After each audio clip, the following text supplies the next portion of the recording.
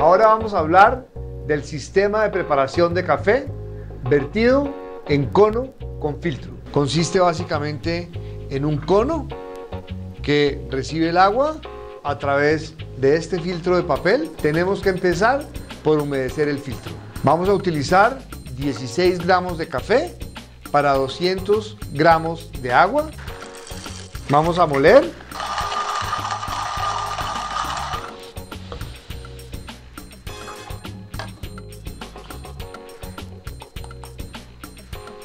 Y hacemos una preinfusión.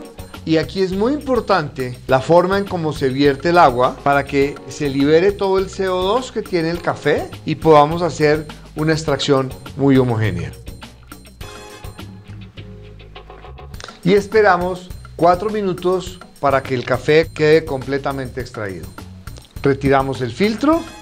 Estamos listos para disfrutar una deliciosa taza de café. Salud.